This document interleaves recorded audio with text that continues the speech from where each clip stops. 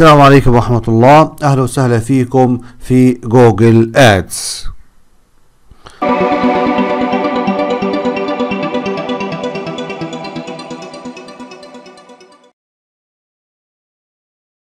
السلام عليكم ورحمة الله. اليوم هنحكي عن ال Google Ads يعني ال Google Ads كتير مميزة. لما أنت تصل ل Google Ads معناته أنت وصلت لل customers بشكل عالي جدا. آه، حتى تتميز عن ال social media لأنك أنت لما بتبحث عادة بنبحث في جوجل وجوجل هو أكبر محرك بحث فبالتالي أنت بتصل لأكبر تجمع للعملاء على الإنترنت. ومن خلال هذا التجمع تستطيع أنك أنت تستهدف العملاء على حسب حاجتك لهذا العميل. ممكن تستهدف العملاء من أجل حملات تسويقية لرفع نسبة الزيارات على الموقع أو أنك أنت تستهدف العملاء من أجل رفع المبيعات. أو إنك أنت تستهدف العملاء من أجل من أجل رفع نسبة المكالمات الهاتفية بشكل عام. فبالتالي الكثير من الأهداف أنت ممكن تحققه من مين؟ من الإعلان على شبكة جوجل. آه ما يميز أيضا الإعلان على شبكة جوجل التكلفة. يعني أنت بتدفع pay per click يعني أنت تدفع مقابل النقره الواحده فبالتالي آه ما في عمليات دفع كبيرة بالنسبة لمين؟ بالنسبة لجوجل. تعالوا نبدأ الآن ونشوف كيف بدنا نعمل الإعلان أو كيف بدنا نعمل الحساب الإعلاني على شركة جوجل. نروح على الموقع جوجل. بروح على جوجل بكتب Google Ads وبختار ads.google.com فلما أختار ads.google.com تفتح عندي مين هذه الصفحة. خلينا مش نسجل حساب جديد وإنما نعمل حساب من البداية. فأضغط على مين؟ على البدء الآن. لما أضغط على البدء الآن رايح تفتح عندي هذه الصفحة.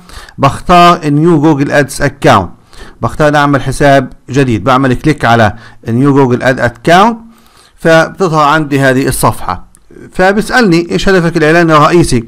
تلقي مكالمات أكثر مثلا الحصول على مزيد من المبيعات أو الاشتراكات في الموقع ولا جذب المزيد من الزيارات للمتجر ولا الوصول للمشاهدين على اليوتيوب والتفاعل معهم. بختار الهدف ضمن هذه الأهداف الموجودة عندي. لكن لو نزلنا لتحت هنا شوية بيقول لي هل تمثل جهة تسويق محترفة؟ يعني إذا كنت أنت محترف في التسويق فأنت اضغط إيش؟ اضغط إلى التبديل إلى الوضع مين؟ المختص. أعمل كليك على التبديل إلى الوضع المختص. هتفتح عندي مين؟ هتفتح عندي هذه الصفحة. فبيقول لي اختار الهدف التسويقي. يعني في عندنا مجموعة من الأهداف التسويقية زي المبيعات زيادة المبيعات زيادة المبيعات التي تتم عبر الإنترنت أو داخل التطبيق أو عبر الهاتف أو في داخل المتجر. العملاء المحتملون الحصول على عملاء محتملين وإحالات ناجحة أخرى عن طريق تشجيع العملاء على اتخاذ إجراء معين أو الزيارة إلى الموقع الإلكتروني جذب أشخاص مناسبين لزيارة موقعك الإلكتروني أو التفكير في المنتج والعلامة التجارية. بمعنى أنك أنت بتشجع الأشخاص على استكشاف منتجاتك وخدماتك إلى آخره. تعزيز الوعي بالعلامة التجارية ومدى وصولها إلى الجمهور المستهدف بشكل واعي.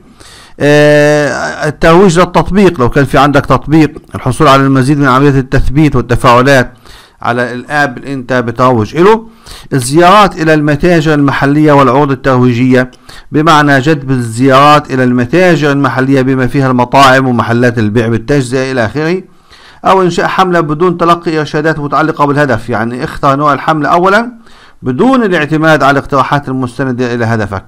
فهذه كلها أهداف أنا ممكن آه إن أنا أختار من ضمن هذه الأهداف. لكن في نقطة مهمة هنا إنشاء حساب بدون حملة. يعني أنا بدي أعمل الآن فقط حساب ما بدي حملة. ففقط بدي أعمل حساب فبعمل كليك على إنشاء حساب بدون حملة. هيفتح عندي مين؟ هتفتح عندي هذه الواجهة. آه الفوطة هو بلد إرسال الفواتير لما بده منك مبلغ مثلا بلد إرسال الفواتير لوين؟ فلسطين والمنطقة الزمنية غزة. والعملة طبعا دولار أمريكي بشكل افتراضي هو بيختار مين؟ بيختار هذه الأوبشنز كلها. بقول له نعم أريد التلقي نصائح متعلقة بالأداء والعروض التوجيهية والاستطلاعات والدعوات إلى آخره. يعني ابعت لي إيميلات بكل هذه التفاصيل. بعدها بضغط على مين؟ بضغط على إرسال.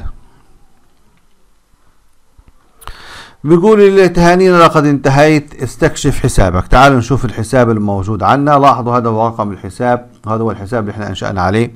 فبيقول لي استكشف حسابك. فبضغط على مين؟ على استكشاف الحساب. وناخد نظرة عامة على مين؟ على حساب جوجل. بنلاحظ هنا في عندي نظرة عامة على الإعلانات. لو أنا بدي أعمل حملة جديدة بدي أعملها من هان. في عندي الآن مجموعة من الإحصائيات أيضا. الإحصائيات حول الحملات اللي أنا عملتها مجموعة مختلفة من الإحصائيات. أهم جزئية وأهم نقطة هي الحملات. أنا بصل للحملات للادز بصلها من هان بعمل إنشاء حملة من هذا المكان. فهذه أهم جزئية في اللي إحنا بنتصفحهم الآن. في عندي أيضا الإعدادات الحملة من حيث الميزانية الحالة نوع استراتيجية عروض الأسعار نوع الحملة الشبكات إلى آخره من مين؟ من الإعدادات. في عندي أيضا سجل التغيرات اللي بختار الحملة بشوف التغيرات اللي صارت على مين على هذه الحملة. بيقول المواقع الجغرافية اللي موجودة عندي إيش المواقع الجغرافية اللي بدي أستهدفها اللي بدي أستبعدها؟ إيش أهداف الأداء؟ آه وأيضا مجموعة مين؟ الحملات. فهذه هي بشكل عام الواجهة الرئيسية لإعلانات جوجل. ننتقل الآن على أهم نقطة وهي مين؟ وهي الحملات. تعالوا نبدأ بإنشاء الحملة الإعلانية الأولى. أضغط على إنشاء حملة. حملة جديدة. أول حاجة بظهر عندي الأهداف. اللي سبق وأشرنا لهم بشكل سريع في البداية. بنقول هذه الأهداف المبيعات طبعا والعملاء المحتملون إلى آخره. آخر حاجة بقول إنشاء حملة بدون تلقي إرشادات المتعلقة بالهدف. يعني انشاء الحمله بعد هيك أنا بختار الهدف اللي بدي اياه أنا بدي أختار هذه الحملة حتى يجيب لي كل الأهداف اللي بتعرض في جوجل. هذه كل الأهداف اللي ممكن ألاقيها أنا في مين؟ في جوجل. فباجي أول هدف من ضمن هذه الأهداف التسعة الموجودة أمامي. شب... اللي هي شبكة البحث. الوصول للعملاء المهتمين بالمنتج أو الخدمة التي تقدمها باستخدام الإعلانات النصية. يعني أنا بدي أروح على جوجل وأعمل إعلان نصي في جوجل. يعني لو قلت له مثلا شقق للبيع في تركيا. الآن عملت البحث. هذا هو المقصود فيها. في البحث طلعت عندي هذه النتائج. هي هذا يعتبر آد هذا أيضا يعتبر آد هذا يعتبر آد هذا يعتبر أيضا آد. فهذه كلها الادز اللي بتيجي في نتيجة البحث. فهذا هو المقصود في شبكة البحث.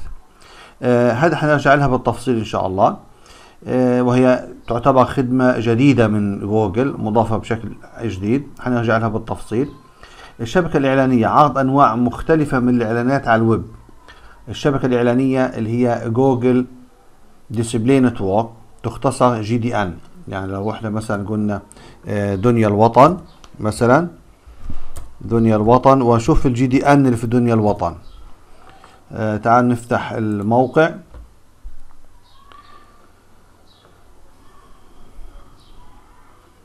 لاحظوا آه طبعا هذا مش من جوجل.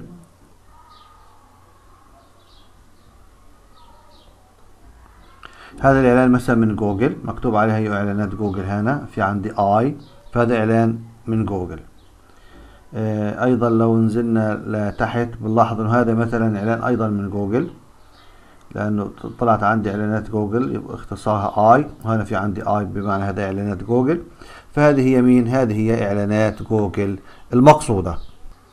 لو جينا لهذا الإعلان تسوق بمعنى الترويج لمنتجاتك باستخدام إعلانات التسوق. يعني إعلانات التسوق يمكن الدول اللي بتدعم ال e-commerce بتظهر عليها بشكل أفضل ولكن فلسطين ما بتدعم ال e-commerce بشكل كبير فبالتالي مش رايحين نلاقيها رائجة كتير في فلسطين. لو جينا هنا وقلنا له ال shopping shopping ads مثلا sample بنلاحظ إيش النتائج الموجودة عندنا في هذا المكان. آه هي هذا هي بالضبط. بنلاحظ إن هي في مثلا مثل هذا الإعلان. آه بنلاحظ إنه هو إعلان على مين؟ إعلان ل آه البوات مثلا. فبالتالي هذه هي الإعلانات إحنا بنقصدها بشكل أساسي. لاحظوا الإعلانات كلها آه في الآخر تدعم مين؟ تدعم آه ال shopping وتدعم ال e-commerce samples بشكل أساسي. هذا أيضا يعتبر من ضمن إعلانات جوجل. إلى آخره من مين؟ من هذه الإعلانات.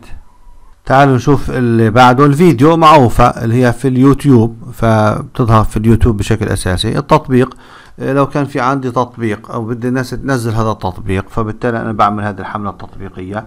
Smart اللي هي كل الحملات السابقة تشملها تشمل جميع الحملات السابقة. المحلية اللي هي جذب العملاء لموقع جغرافي معين. يعني لو إحنا مثلا على آه، جوجل وقلنا له مثلا Google Map Ads مثلا sample تكون sample. فلاحظوا النتائج اللي بتظهر عندي هنا على وين؟ بتظهر عندي على خرائط جوجل بشكل أساسي. لو طلعنا مثلا على هذه الحملة بنلاحظ إنه هنا في عندي خرائط جوجل. لاحظوا هاي خرائط جوجل ظهرت عندي. ولو شفنا مثلا هذا الخريطة جوجل لاحظوا ال locations هي ظهرت عندي بشكل اساسي فبظهر عندك مين؟ بظهر إعلاناتك في مين في هذا المكان. فبالتالي هي بتظهر على الخرائط وبتكون أنت من أوائل الناس اللي بيظهروا على مين؟ على هذه الخريطة. تعالوا نرجع مرة تانية. الآن بضل عنا ال discovery أثناء التصفح عرض الإعلانات على اليوتيوب والجيميل واقتراحات وغيرها في اثناء مين في اثناء التصفح. يعني بشكل أساسي هذه إعلانات ال discovery بمعنى تظهر إلى المعلن على الجوال لما يكون بيتصفح على الجوال.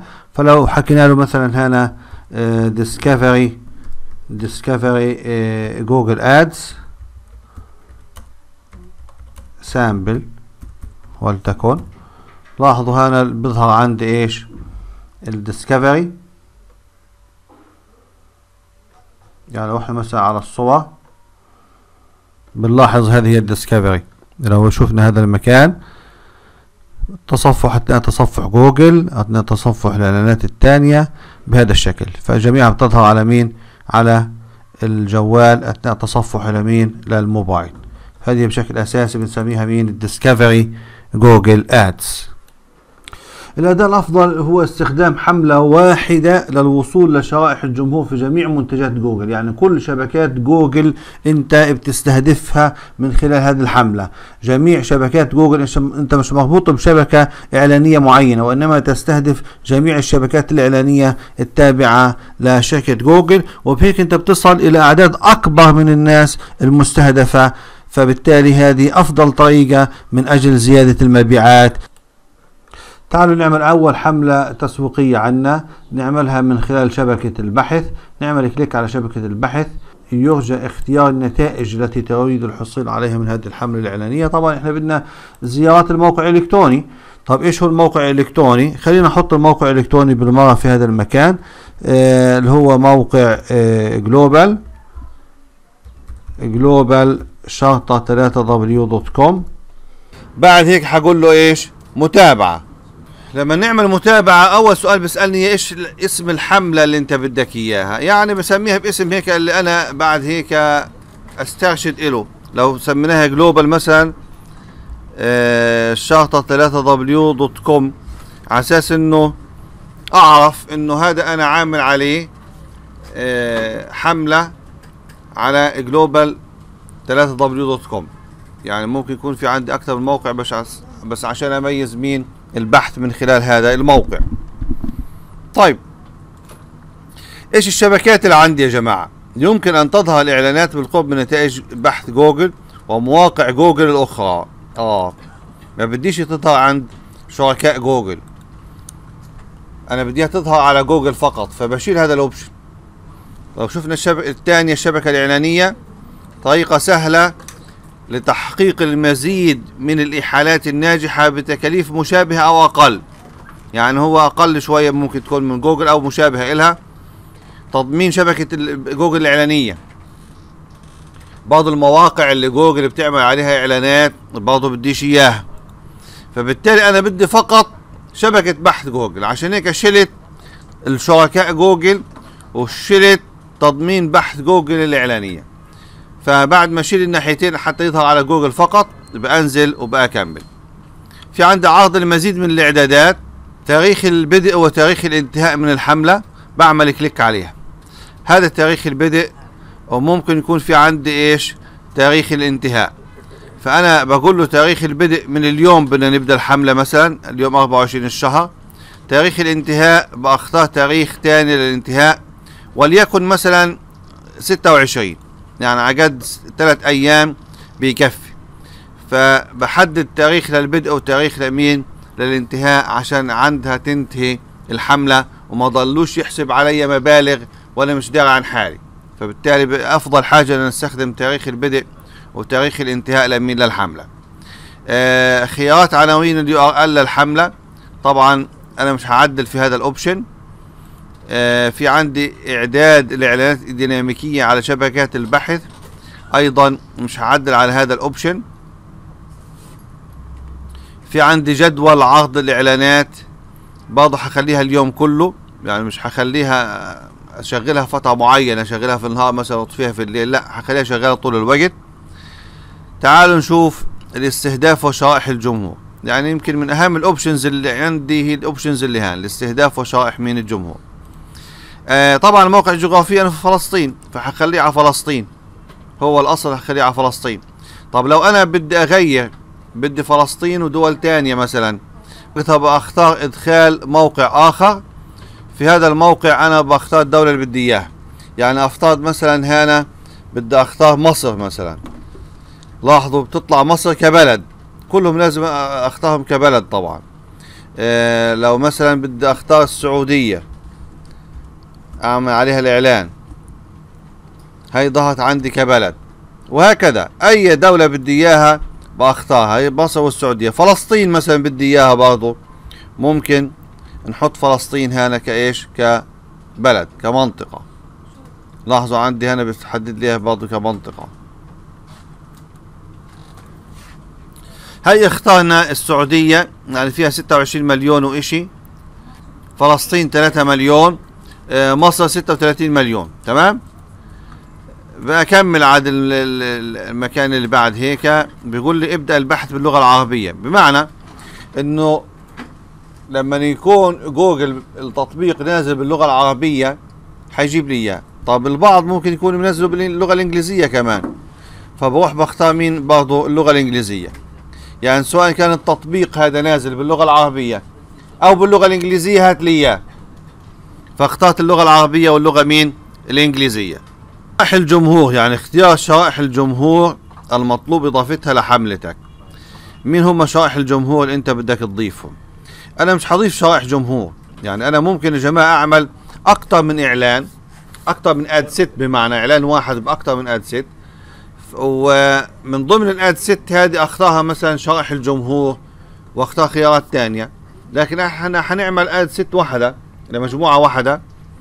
آه فبالتالي مش هختار شرائح الجمهور من هان الميزانية اللي عندي طبعا بالدولار خليها مثلا 15 دولار مثلا كحملة إعلانية.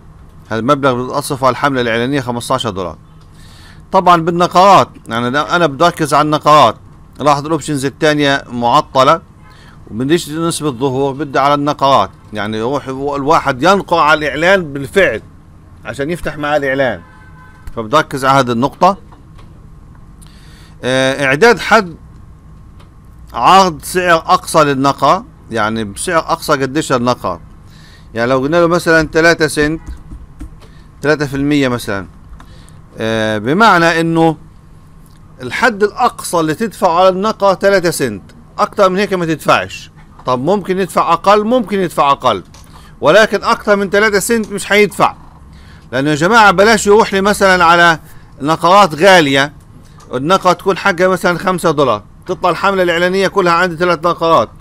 فبالتالي أنا بحاول أحدد من هنا الحد الأقصى للنقرة الواحدة تكون 3 سنت. يعني يكون في شوية مرونة. بدناش نحطها 1 سنت خليها 3 سنت أو 5 سنت على الأقل.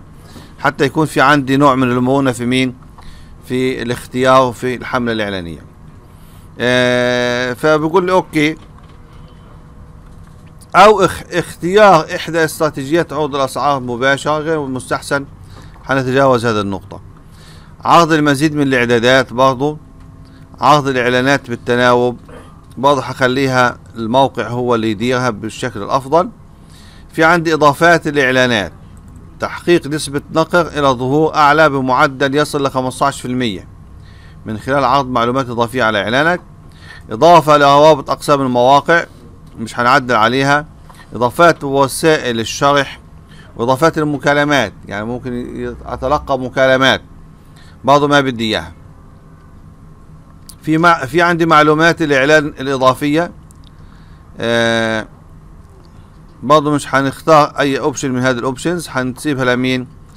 لجوجل هو اللي يديرها. حفظ ومتابعة وبننتقل للخطوة التالية. نوع المجموعة الإعلانية طبعا النوع عادي. اسم المجموعة الإعلانية المجموعة الإعلانية رقم واحد.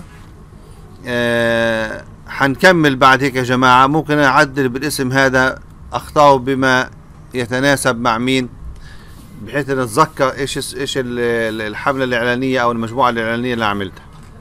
الكلمات الرئيسية مهمة. مهمة انه أنا أختار هذه الكلمات الرئيسية. يعني الإعلان بده يتركز الإعلان بشكل أساسي على الكلمات الرئيسية اللي المستخدم بيبحث عنها. فبالتالي نبحث عن الكلمات الرئيسية. موقعنا مثلا ببرمج متاجر إلكترونية. فبده يكون الهدف الأساسي من الإعلان إنه الناس اللي بدها تصمم متاجر إلكترونية أو تبرمج متاجر إلكترونية يزوروا موقعي وأنا هعمل لهم متجر إلكتروني. فبالتالي بدي أختار الكلمات الرئيسية في هذا الموضوع. معنى المستخدم لما بده يبحث على جوجل إيش الكلمات الرئيسية اللي بده يستخدمها وكيف بده يبحث عن هذه الكلمات الرئيسية؟ نختار option تاني نختار حساب تاني يا جماعة نعمل عليه البحث. فحنقول له هنا ال keyword planner. planner التابع لمين؟ لجوجل.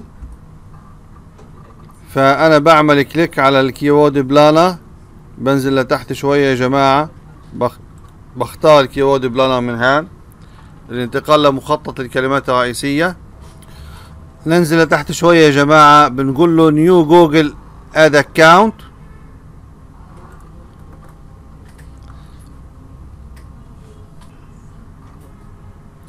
طبعا هذه معلومات الحساب. أنا بدي أقول له ما تبعتليش أي دعايات أو إعلانات على الحساب. وأقول له روح على مين على ال keyword planner وأقول له explore this account حآجي هانا من ال tools يا جماعة. حفتح ال tools اللي عندي هان. في ال tools هاي حلاقي عندي إيش؟ planning من ال planning حلاقي عندي ال keyword planner فحفتح هنا على ال keyword planner ممكن البعض يظهرها بشاشة أكبر من هيك تكون شاشة بالعرض أو البعض بيظهرها في قائمة التنين نفس الشيء يعني ما ما تنزعجوا من هذا الكلام. هو جايب ليهم هنا كقائمة البعض ممكن يظهرهم بشكل أفضل من هيك اللي هي بالعرض. سواء هذه أو هذه نفس الشيء. Discover ال new keywords. أنا لقيتها بدي أعرف المستخدم لما يبحث عن هذا الموضوع إيش الكلمات الرئيسية اللي هو بيستخدمها عشان هي اللي احطها فبقول له مثلا باللغة العربية إحنا الآن بنكتب بنقول له مثلا تطوير آه، متجر إلكتروني. يعني هذا الموضوع الرئيسي انت هذا الموضوع الرئيسي اللي المفروض المستخدم يبحث عنه. فبحط له مجموعة كلمات أنا بقترحها على ال keyword planner إنه ضمن هذه المجموعة من الكلمات شوف للمستخدم يبحث على إيش. فأنا حقول له تطوير متجر إلكتروني. إنشاء متجر إلكتروني مثلا.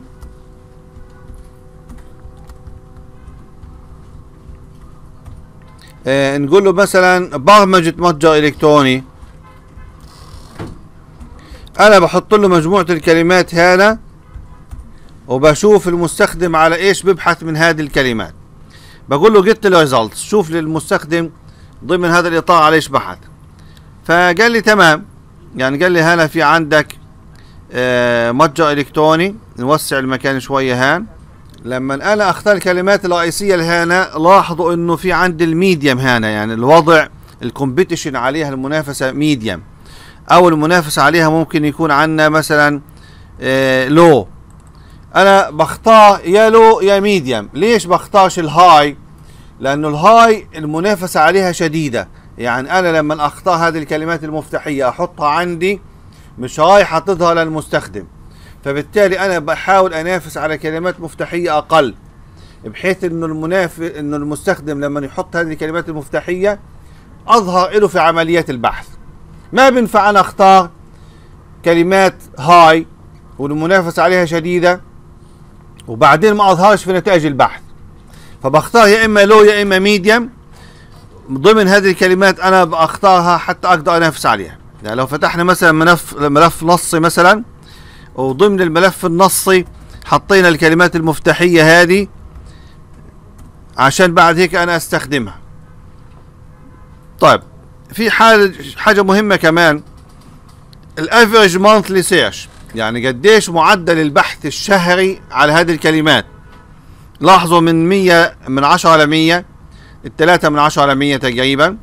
فهذا كويس بالنسبة لي. لو نزلنا تحت بعض كله من 10 على 100 آه طيب ال competition لما أعمل click تاني عليها بيعمل إيش؟ عندي إعادة ترتيب. From high to low أو from low to high. فجاب لي اياه from high to low. هي أعلى حاجة عندي. وبعد هيك ال medium بعد هيك ال low أعمل click معها تانية. جاب لي إياهم بالترتيب بالعكس. لاحظون هنا فيش بحث. فأنا خليني أعملهم على على الحالة الأولانية. بستبعد ال high طبعا. بستبعدها هدول بستبعدهم. وبحاول أنا أصل لل medium ولو أنا استخدمت ال low بيكون أفضل. يعني أنا لو استخدمت جيت على على ال low برضه بيكون أفضل في عملية البحث. تعالوا إحنا نستخدم مين؟ ال medium اللي عندي هان. هاي عند الميديم اللي هي إنشاء متجر إلكتروني مجاني إنشاء تطبيق متجر إلكتروني. آخذ هذه الكلمة. دايما لما آخذ يا جماعة باخذ الكلمات لها علاقة بالموضوع اللي أنا ببحث عنه.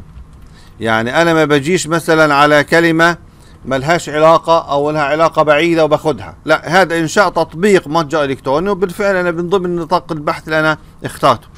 عمل متجر إلكتروني مثلا. لاحظ لاحظوا كلمة مجاني مش راح يكون مجاني فانا حابعد عن الكلمات المجاني مجاني حابعد عنها. كيفية عمل متجر إلكتروني ممكن آخذ هذه الكلمة أيضا. نزغر الشاشة بهذا الشكل أنا آخذ الكلمة هذه.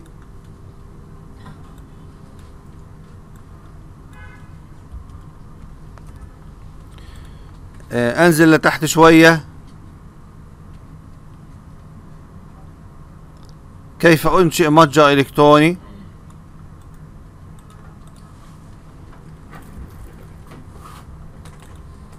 أكمل أروح على الصفحة اللي بعدها. آه، طريقة عمل تطبيق تكلفة إنشاء تطبيق متجر إلكتروني. آخذ الكلمة هذه كمان.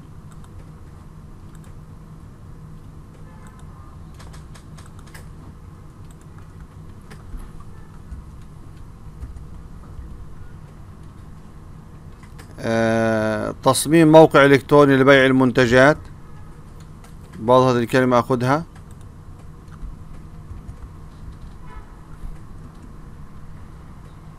عمل متجر إلكتروني.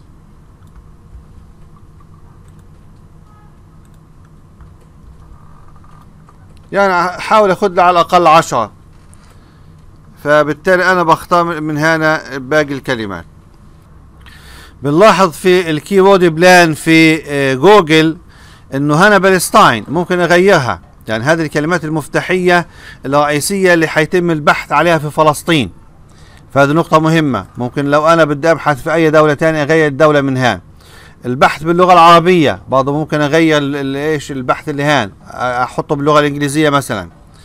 فالمدى عندي من May ل April ممكن برضه أغير مين أغير المدى اللي عندي هان. فبالتالي هذه ال keyword الرئيسية اللي رايح يبحث عنها. فبالتالي أنا ممكن أختار من هذه الكلمات. ممكن أقول له عمل متجر إلكتروني مثلا. اضيفها للكلمات المفتاحية اللي عندي. فبالتالي هذه ممكن كلها تنضاف عندي بهذا الشكل. أقول له مثلا من ضمن الكلمات أختار مثلا متجر إلكتروني. هيضاف لي متجر إلكتروني وهكذا. أنا ممكن أضيف كلمات تانية لهذا المكان. لاحظوا عندي 128 keyword idea available يعني في عندي لحد 128 أفكار عن ال keyword موجودة عندي في هذا البحث. في عندي نقطة هنا لو عملنا click هان بيقول لي ممكن أنزل لك الكلمات المفتاحية ب dot CVS C ب dot CSV فانا ممكن اعمل click على هذه الكلمات المفتاحيه بدل ما ضلني انسخها على ملف text نزل لي اياها كلها هان لو فتحنا هذا الملف راح يجيب لي الكلمات المفتاحيه اللي نزل لي اياها في مين في هذا الملف طلع هي هي الكلمات المفتاحيه هي إيش الكلمات العملة اللي بدي ادفع من خلالها ال ال average search عندي قديش كان عليها هذه الكلمات المفتاحية. medium و low متوسط البحث عن هذه الكلمات المفتاحية. فبنزل لي معلومات كاملة على هذا الكلام. ممكن بعد هيك أنا بالملف هذا أنسخ الكلمات اللي بدي إياها بهذا الشكل. وأحطها على الملف اللي عندي. تمام اخترنا هذه الكلمات المفتاحية. الآن نرجع لمين نرجع على مكان ما كنا يا جماعة. إحنا كنا وين؟ كنا هان. تعالوا نرجع لمكان ما كنا. قال لي أدخل الكلمات الرئيسية للبحث. طبعا الكلمات الرئيسية للبحث أنا اخترتها ونسختها هان. فحقول له control A control C وحاجة هنا حقول له control V. يعني تقريبا هذه الكلمات المفتاحية اللي أنا بدي أستخدمها في مين؟ في هذا الإعلان. فأهم حاجة في ال keyword planner من جوجل بيجيب لي معدلات البحث اللي كانوا العملاء بيبحثوا من خلال موقع جوجل عليها. واختار ال low رقم واحد وال medium رقم اثنين. ببعد عن ال high لأنه مش حأظهر أنا في محركات البحث لما أختار ال high. بختار مجموعة مناسبة للموضوع اللي أنا ببحث عنه أو للموضوع اللي أنا بدي أطبقه وهو إنشاء متجر إلكتروني أو برنامج متجر إلكتروني. وهذه الكلمات بنسخها على text file وبجيبها بحطها عندي في مين؟ في هذا ال planner آه لاحظوا عندي هنا النقرات والتكلفة. متوسط تكلفة النقرة تقريبا متوسط تكلفة النقرة 2 سنت. إحنا حاطينها 3 سنت يعني لكن هو بيقول تقريبا متوسط النقرة قديش 2 سنت. والميزانية قديش عندي 15 دولار. فبالتالي هذه هي إيش؟ ملخص للحملة اللي عندي. آه مش هعمل مجموعة إعلانية جديدة. طبعا ممكن أعمل مجموعة إعلانية جديدة وأغير في بعض الخصائص. لكن وبالتالي بعد ما أشغل الحملة أشوف أي مجموعة إعلانية كانت الأفضل شغالة. واخليها شغالة والمجموعة الإعلانية اللي كانت أسوأ ممكن أوقف هذه المجموعة الإعلانية.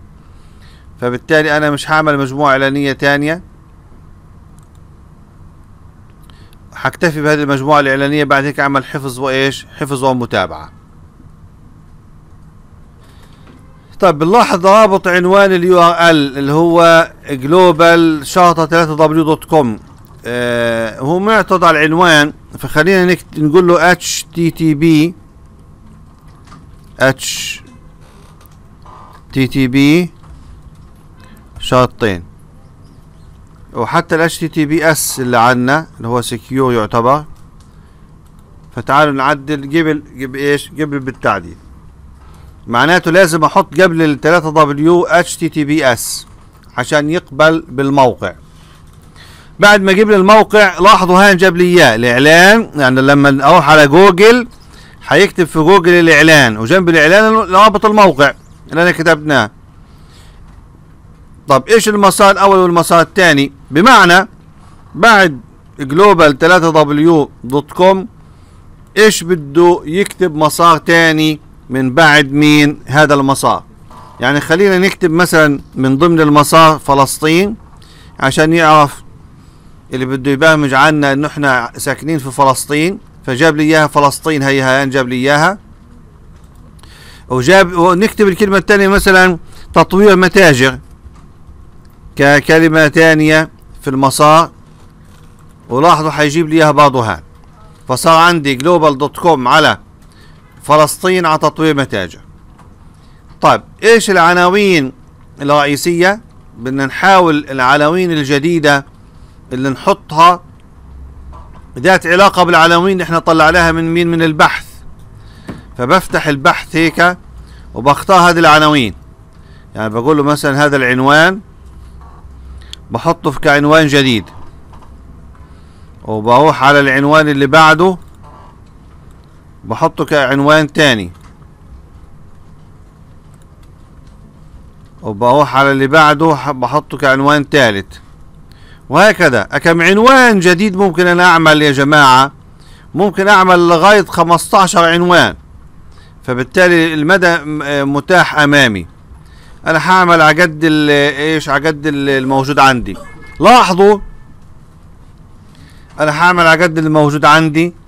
لاحظوا إنه حد أقصى 30 character هنا صار 31 فاعترض. فبالتالي أنا بدي أرفع character من هان. تكلفة إنشاء متجر إلكتروني خلينا نشيل كلمة تطبيق. صارت 25 character قبلها. آه أجي هنا كمان على تصميم. احطها كعنوان جديد. برضه اعترض. 33 character. في two characters جداد. تصميم موقع لبيع المنتجات. صارت 24 character حيقبلها. عمل متجر إلكتروني أيضا بحطه ضمن العناوين الجديدة اللي عندي. فلاحظوا قوة الإعلان صارت متوسطة. افق معايا كتير في الإعلان طبعا. يعني على الأقل الإعلان لازم يكون على درجة متوسطة حتى أكمل في هذا الإعلان وحتى جوجل يقبل ينشر إلى الإعلان. فكويس إنه إحنا وصلنا لدرجة متوسطة. طبعا لازم يا جماعة نكمل باقي العناوين. يعني الأفضل دائما نكمل باقي العناوين. قال لي إدراج كلمات رئيسية رائجة في العناوين. إعلانك full mark أخذت عليها. ليش؟ لأنه هذا أصلا ال keywords اللي بيبحث المستخدم عنها. هي نفسها اللي استخدمتها في العنوان. فبالتالي أخذت نقطة قوية في هذا المجال. ووصل الإعلان من أولها لمين؟ للدرجة المتوسطة. آه ضيف المزيد من العناوين طبعا. يعني لازم يكون في عندي لما أضيف المزيد من العناوين عندي هنا رايح score كمان هذه النقطة. تمام؟ بعد هيك بيقول لي اجعل العناوين أكثر تميزا واجعل الأوصاف أكثر تميزا. تعالوا نكمل ونشوف إيش بده يصير معنا. خلصنا العناوين. بيقول الأوصاف. كم وصف أنا بقدر أضيف في جوجل؟ لحد كم وصف ممكن أقدر أضيف؟ بقدر أضيف لحد أربع أوصاف. زي ما هو كاتب لي هنا فتعالوا نختار أوصاف ذات علاقة. نقول له مثلا آه طور موقعك التجاري الإلكتروني. واحصل على خصم خمسة وعشرين في المية مثلا. هذا أحد العناوين أحد الأوصاف. لاحظوا عندي هنا اجعل الأوصاف أكثر تميزا. بدأ يحط لي علامة فيها. لما أكتب الأربعة كلهم هاخد فول مارك فلازم الإعلان يكون كامل يا جماعة. طور موقعك مثلا نقول له مثلا آه انشئ انشئ موقعك معنا بأفضل الأسعار. انشئ موقعك التجاري الإلكتروني. خلينا نحكي الكلمات هذه يا جماعة. كلمات مفتاحية المفروض. التجاري الإلكتروني بأفضل الأسعار. لاحظوا هنا الوضع صار أفضل عندي. وهكذا. ممكن أضيف كمان وصف. أقول له مثلا آه طور أو أخذنا طور وإنشئ. برمج موقع تجاري إلكتروني. واحصل على أفضل تصميم. فكلمات بحط كلمات ذات علاقة بالموضوع. آه نكمل يا جماعة بعد هيك إحنا حطينا العنوان حطينا المسارين عندي هان. لاحظوا كلمات رئيسية كلها جاب ليها بالأخضر دليل عنها كلمات مقبولة. حطينا العناوين الرئيسية بعد هيك حطينا أوصاف. آه فبقول له بعد هيك إيش؟ حفظ ومتابعة. آه لاحظوا عندي هان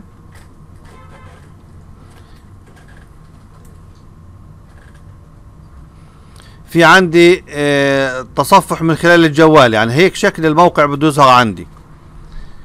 لاحظوا العناوين الرئيسية ظهرت هنا والوصف ظهر تحت في الايش في, الكتابة السوداء اللي هان. لو أنا رحت يمين أو يسار بيجيب لي باقي اللي كتبته.